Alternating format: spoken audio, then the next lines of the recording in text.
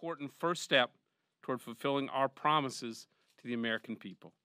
I encourage you to read the bill and cover our action tomorrow. This bill is available to the American public.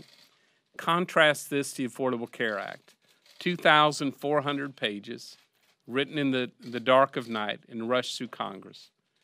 This legislation is a little over 100 pages, and every American can read and understand it. House Republicans promised a deliberate, step by step effort to provide relief from Obamacare and give people the health care they deserve. We take that critical first step tomorrow.